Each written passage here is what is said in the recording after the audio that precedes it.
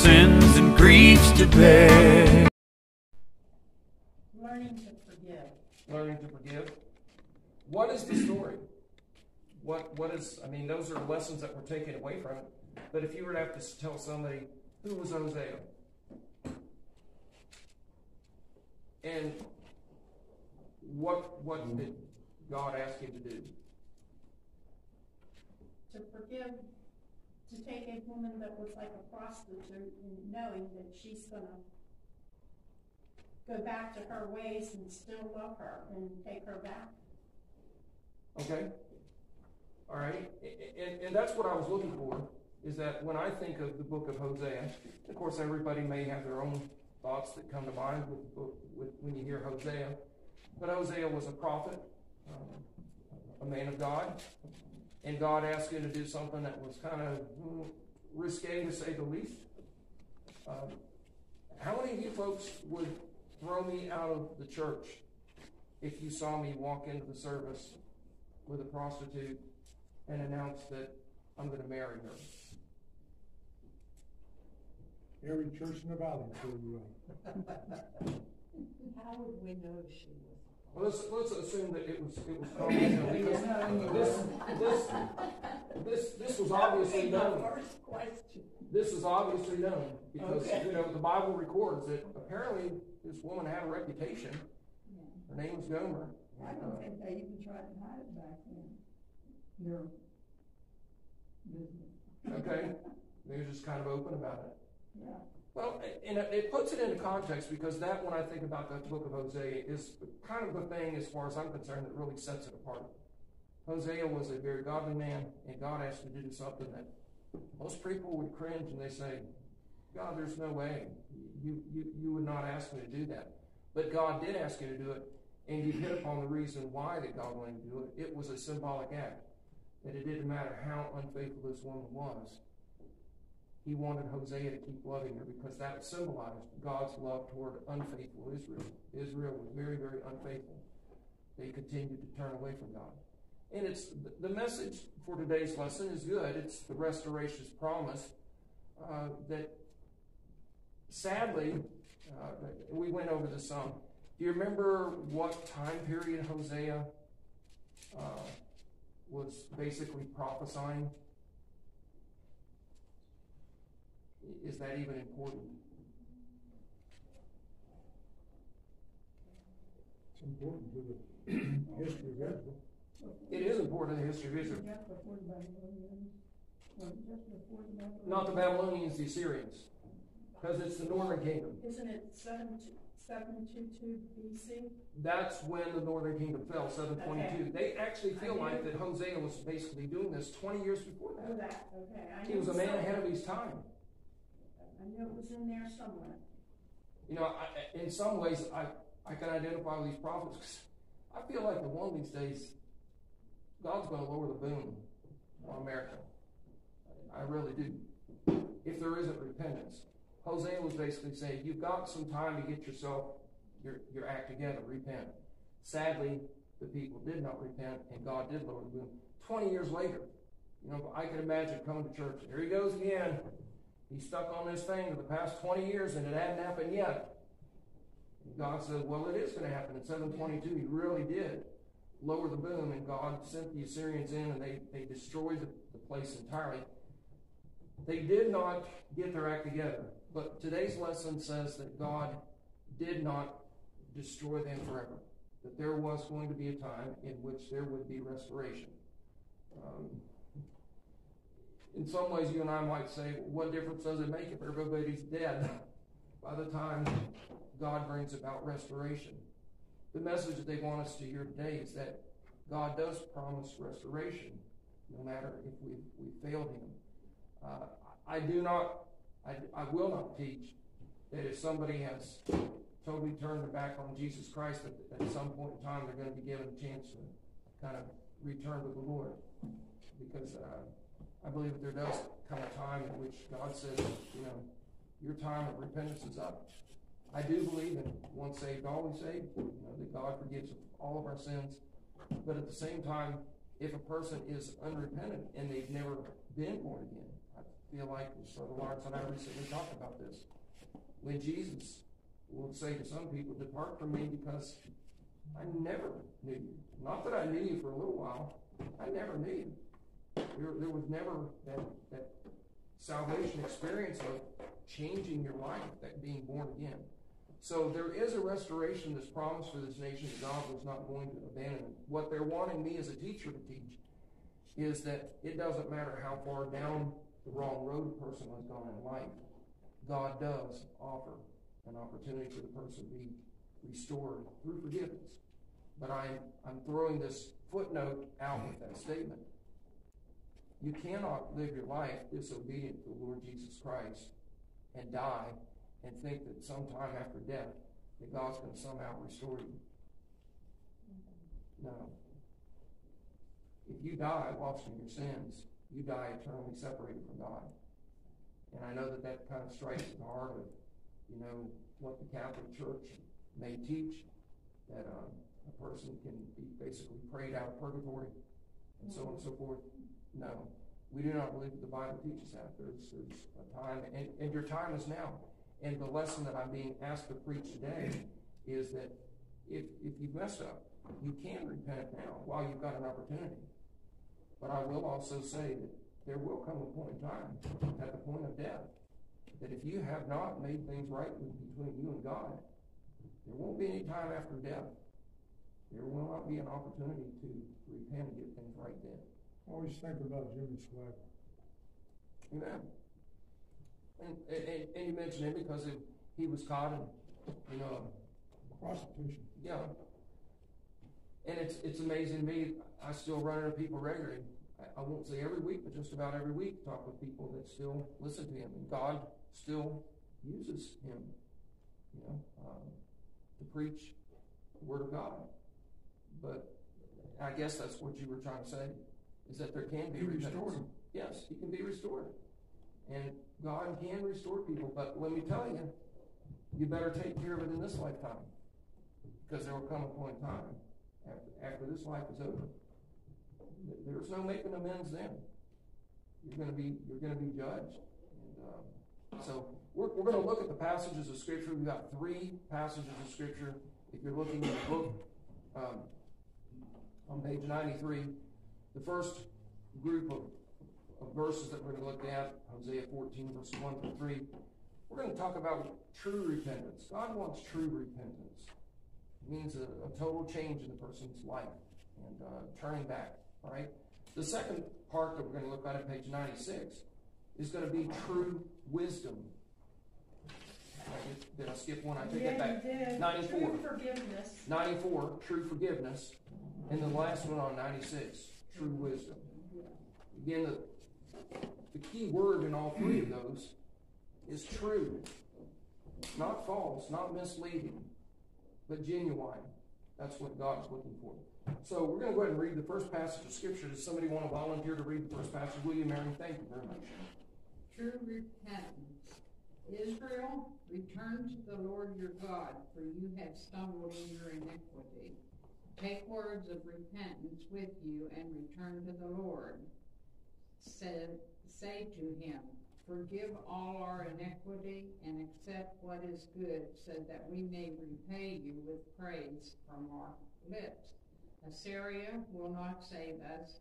We will not ride on horses, and we will no longer proclaim our gods to the work of our hands. For the fatherless receive compassion in you.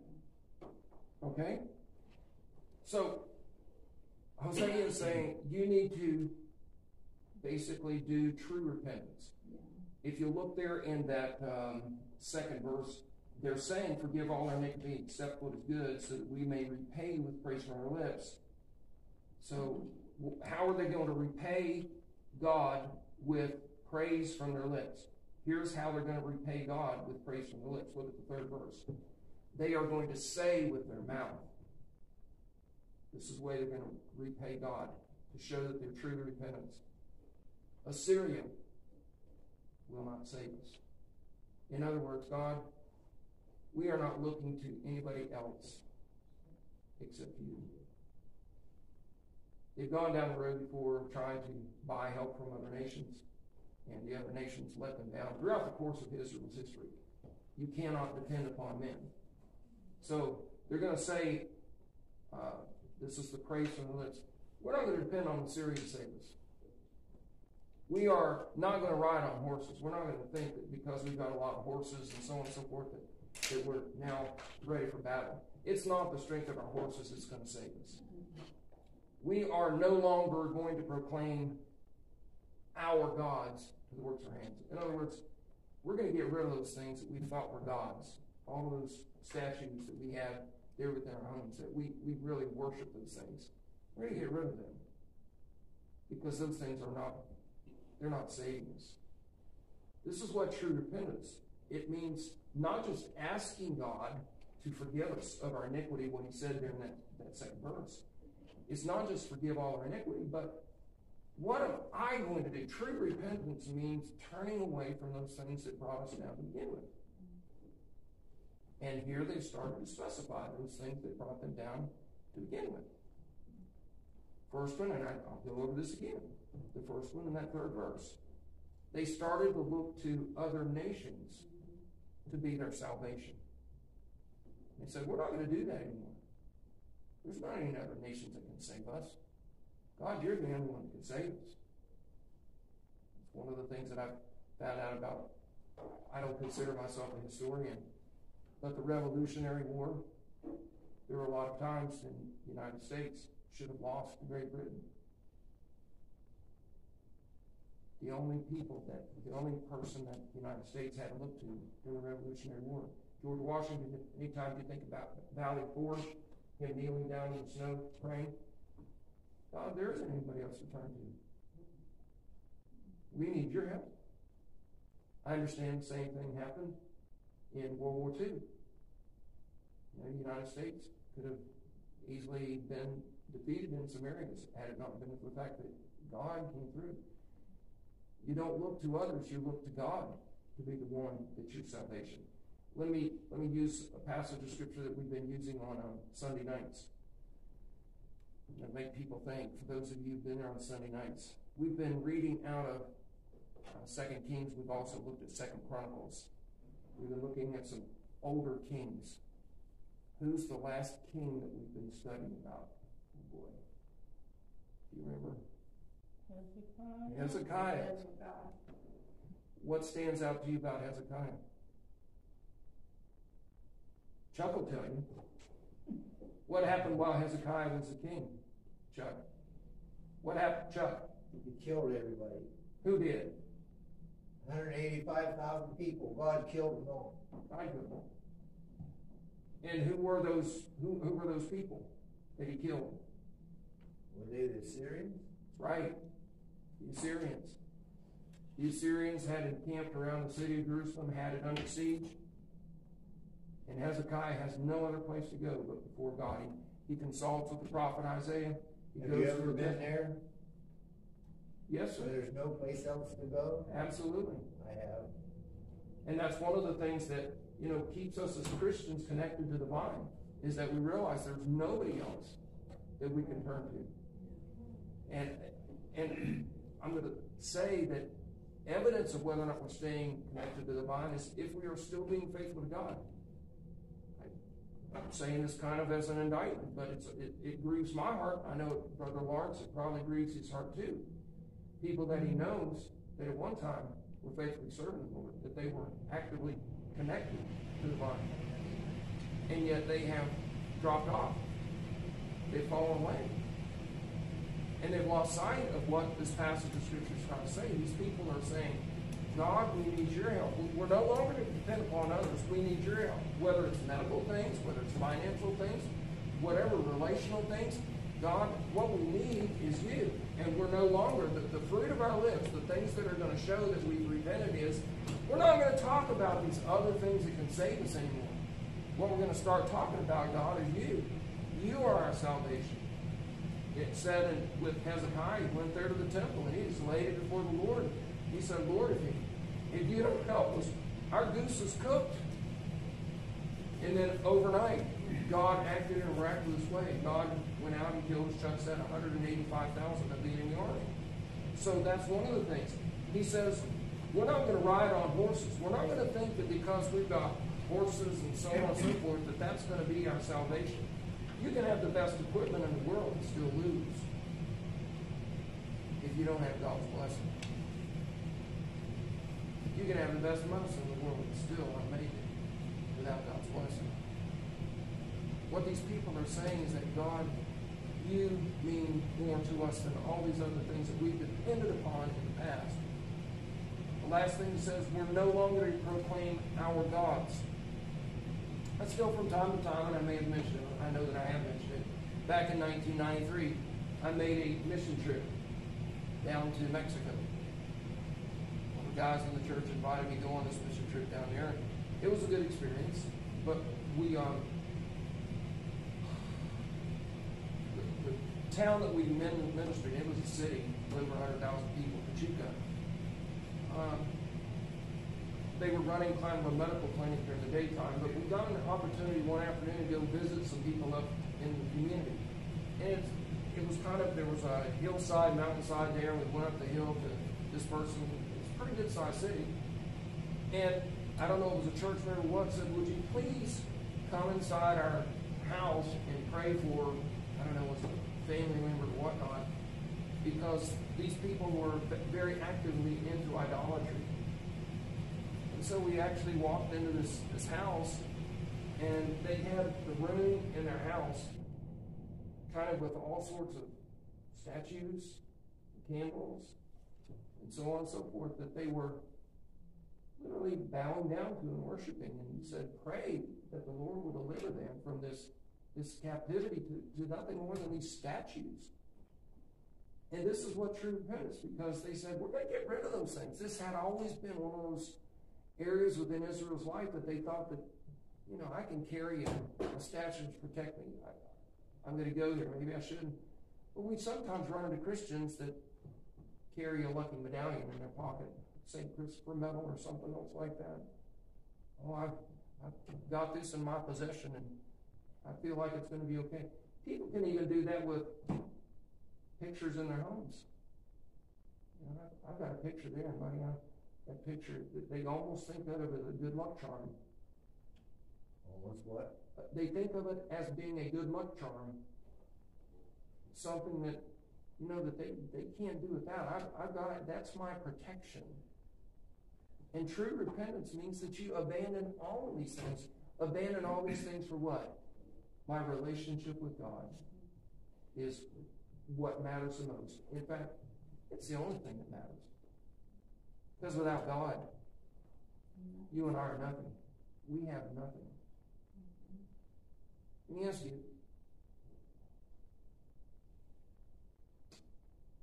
what do those things do to a person when they begin infiltrating a person's life? Well, what those things do is they draw us away from God. What are the signs that we're being drawn away from God? And it goes back to what I said a few minutes ago with regard to Brother Lawrence. We all know people that have drifted away. How did it drift away? Because they lost sight of the need to stay connected. Their attitude was, I don't need to stay connected. I'm okay. And they began to abandon their commitment to God. True repentance means that you turn back to those things that you know that you should be doing. And you continue to do them because you realize you're going to be blessed and others will be blessed as a result of doing it. Don't you feel that when you do that, drift away, don't you feel it? You know, Chuck, I would, I think, I think you do. But it's amazing to me, and, and all of you have seen this. Any of y'all know people that have drifted away? Sometimes it's sudden changes, you know, you don't realize it at first. And then the further you go down. April, you grew up in a youth group here. Mhm. Are all the young people that were part of this group here, are they active in serving the Lord and going to church? And do they feel conviction about it? No. always. Dawn and I met in a youth group at our church, And we, we still know all the people we were in the youth group with, and very few of them still are in church. So, So I'm not sure, Chuck, you started to say something, Brother Lawrence. I think if you look at our nation, as Hosea was talking, the entire nation has slid into damnation. The entire nation, if you look at our churches, and we talk about we're only running thirty in most of our churches, okay? Check your membership roll. See how many's on it, even back twenty-five years ago. Look for the roster and see how many of them are still there. And then look and see, because there's a lot of things that's connecting with this backsliding.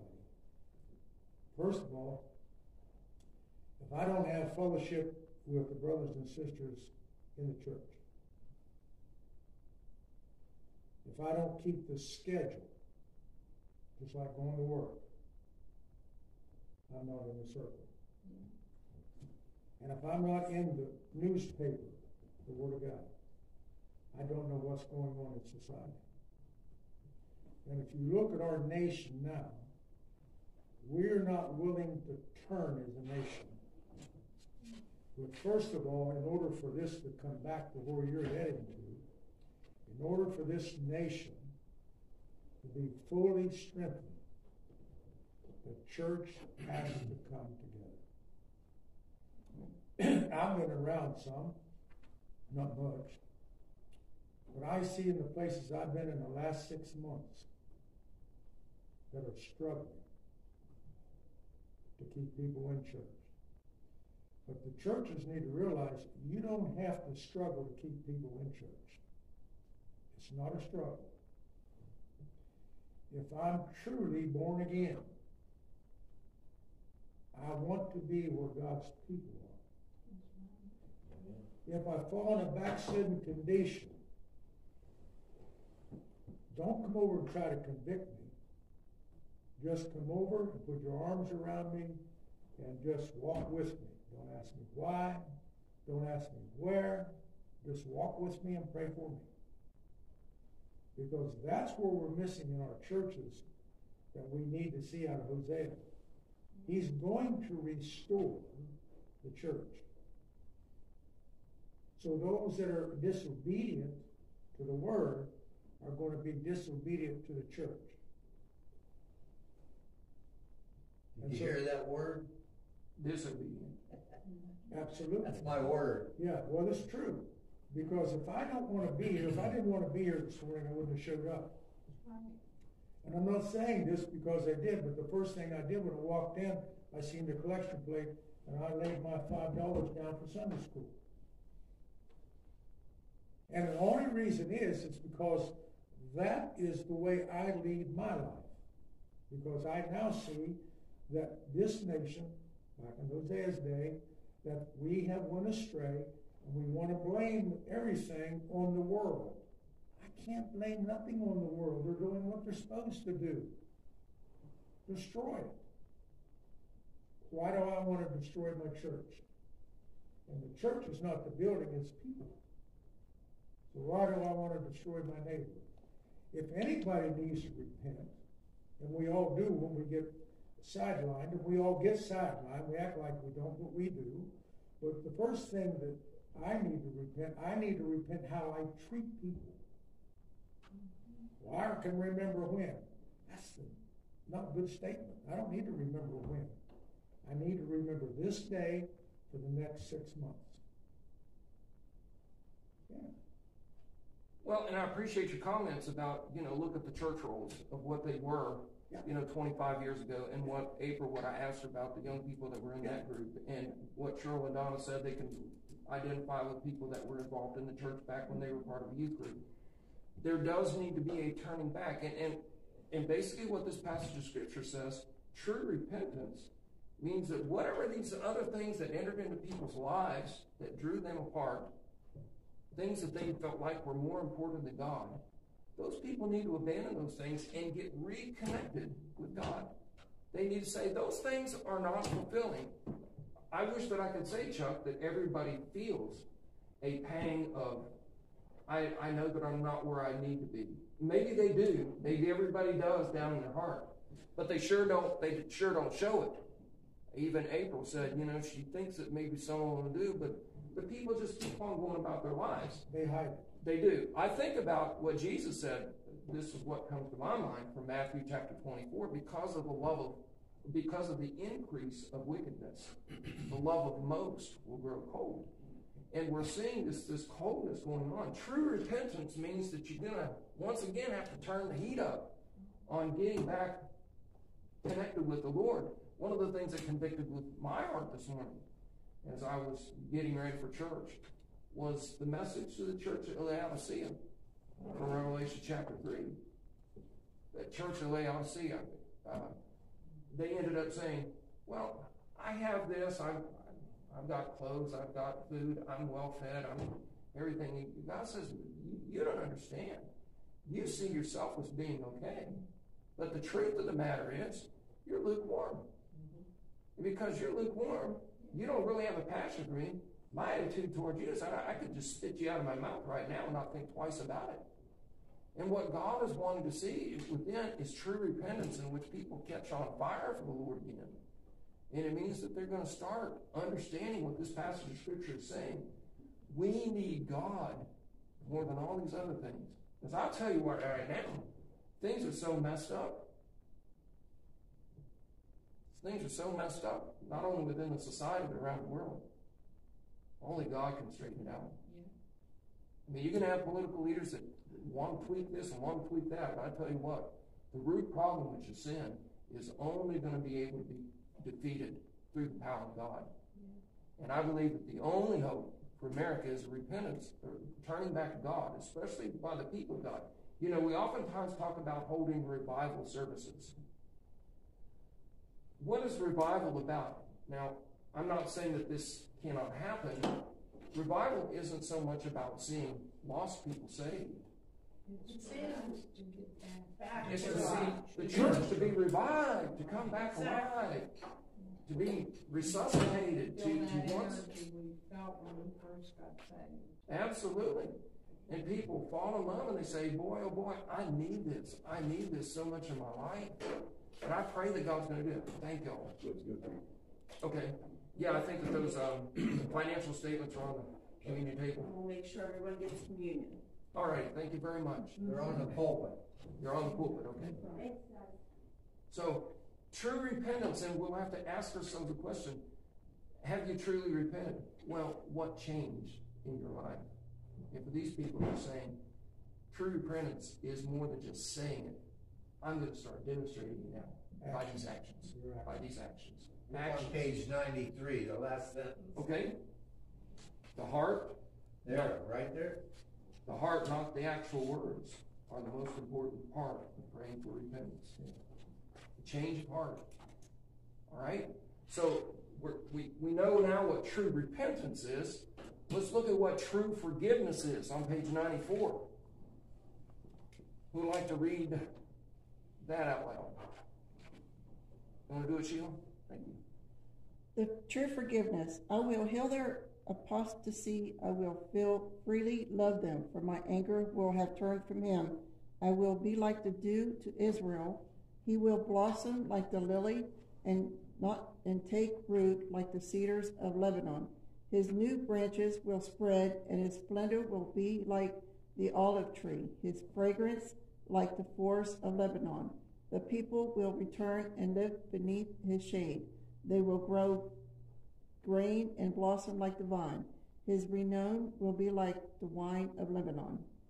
Okay, so true forgiveness means, and if, if you were to summarize that, I know that there's a lot of imagery that's there, like, um, I will be like the dew to Israel.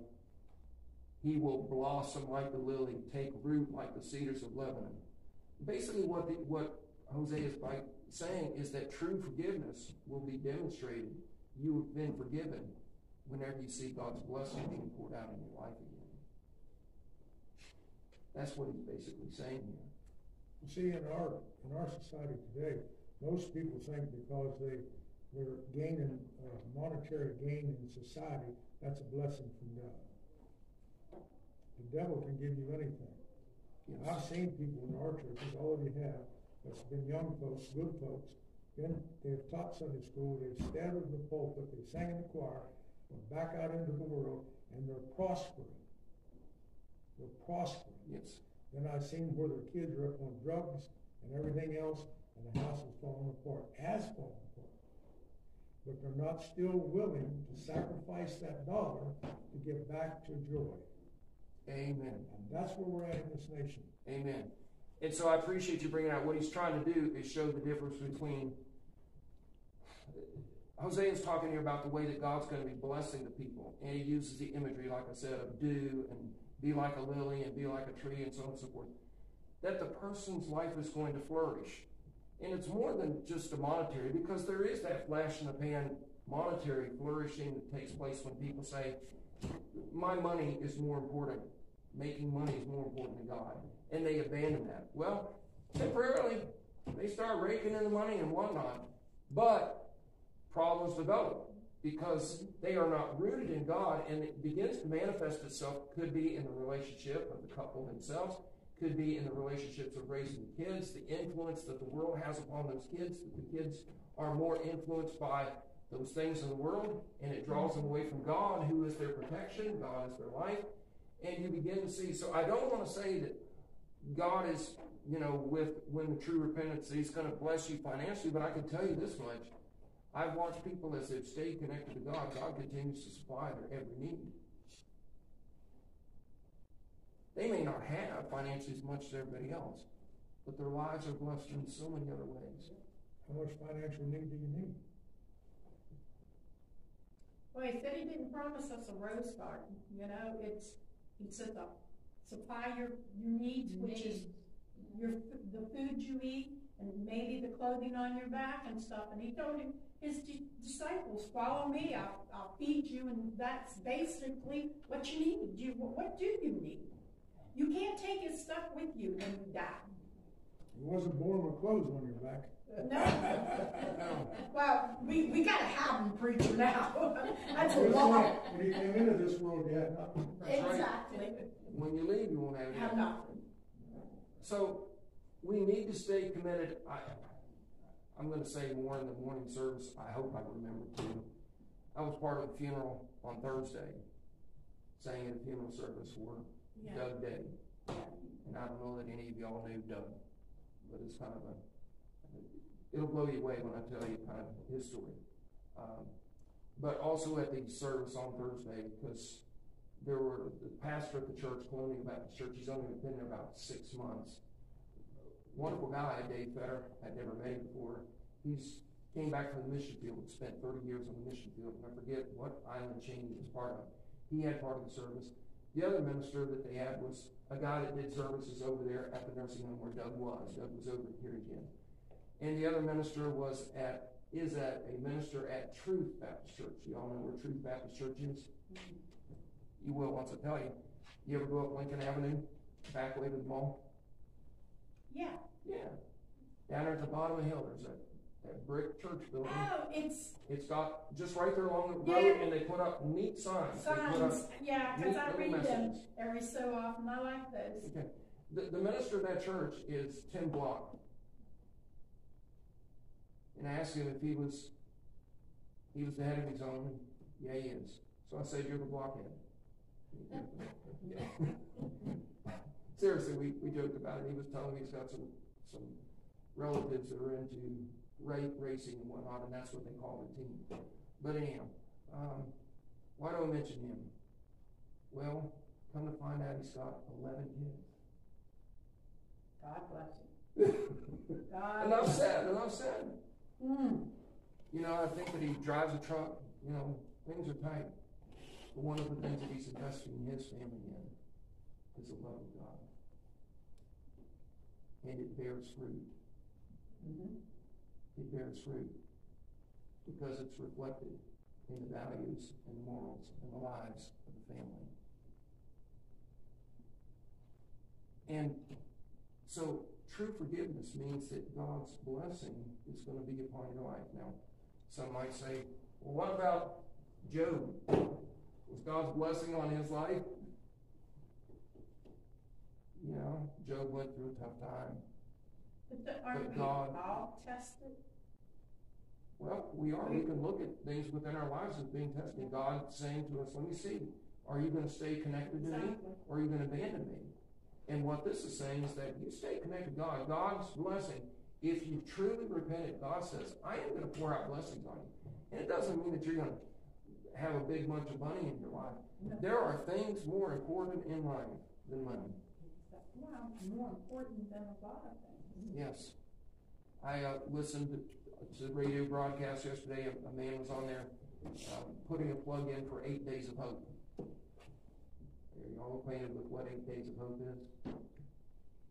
It's a mission outreach that whenever these uh, natural disasters happen in the United States, like Hurricane Ian, this organization comes in and they have people volunteer to go in and work, give up a week of their time. All that they ask is that the people give, um, come down there, that they take care of housing them. The organization does take care of housing and feeding them, but you go and you work for the entire week. And this man was talking about his daughter, she's, she's grown up in that environment, and she was talking about, talking with somebody about repairs, and this daughter was saying, oh, so you need me to do some wiring, oh, you need me to do some sheetrock, oh, you need me to do some plumbing, oh, you need me to do some cleanup. And the person says, do you learn all that stuff from your dad? And she said, no, I didn't learn it from him. I learned it from these groups that he brought in. She had been influenced by all these groups that had come in and, and learned from them. And you could just hear on the radio the pride in this in this man's voice because of his investment in those things of God. His daughter was heavily invested in those things.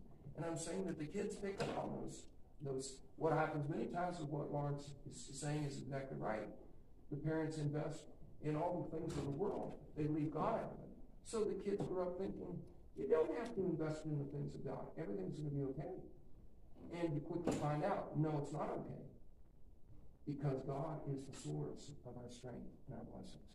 So true forgiveness, when you've truly been forgiven, I, I do believe this. God's going to bless your life. God will, in His time, bless your life. It may not come through big money or anything like that, but God blesses in other ways. Any questions about that? That's what true forgiveness is. You're gonna, God says, I am gonna bless you. Like, like the dew to Israel, like blossom of lily, or the cedars of Lebanon.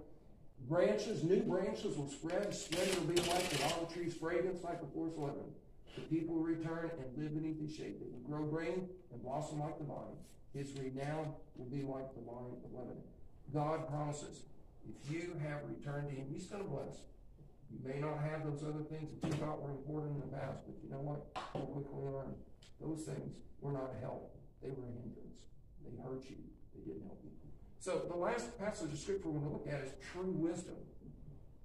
Do we have anybody wants to read that one out loud for us? Miss Barbara, you want to read that out loud? You got volunteered. Okay. Ephraim, why should I have anything more to do with idols? It is I who answer and watch over him. I am like a flourishing pine tree. Your fruit comes from me. Let whoever is wise understand these things, and whoever is insightful recognize them. For the ways of the Lord are right, and the righteous walk with them, but the rebellious stumble in them. Okay. That first phrase is kind of confusing. Ephraim, why should I have anything more to do with idols? You'd think he would say, Ephraim, why should you have anything more to do with idols? God is just basically saying, what do I want to have anything to do with idols? If I don't want anything to do with them, you shouldn't want to have anything to do with them because they're worthless. Time and time again in the Old Testament through the prophets said it's ironic that when those guys make those idols out of wood, they carve it, and they set that one carved piece of wood up there and they worship it. But the shavings off of it, they throw in, they use as wood in the fire to heat themselves with. You know? God says, have anything to do with idols? It is I, I am the one who answers and watches over you. Idols don't do that. I'm the one that does that. And he says, I am like a flourishing pine tree. Uh, I think that the teacher's book said that the flourishing pine tree that the pine that they're talking about is one that you can actually eat the pine seeds. I used to make fun back in the 1980s about Euell Gibbons. Who was Euell Gibbons? Any of y'all remember? I saw Brother Lawrence smile. He was a guy that came on and he talked about eating this healthy food stuff and it had all sorts of nuts and branches Nuts and and grains. Yeah. Yeah. so on and so forth. And it was kind of a standing joke that the guy would eat most anything. He was like a, a tree chip, chip chipper. Uh, he just feed it in there, you chomp it up. Um, but apparently these pine trees produced something that was very edible and it was good. Uh, and he says, I'm like a flourishing pine tree. Your fruit comes from me. True wisdom begins to understand that it's not these other things that, that we need within our lives. What we need more than anything is God. Uh, I would love to see, I would love to see, I if I'm going to see it in my lifetime. I know that Brother Lawrence is working on getting this uh, revival in the valley going, and I pray it does. I would love to see in my lifetime prayer meetings in which the house of the Lord was full of people calling out to God. God, we need you. And as it is, I've even saying this about our church, there's not much happens when we do have prayer meeting. I'm not saying that critically, but I'm just saying.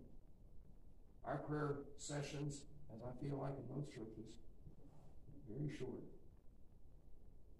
And I know you folks know because you've been here.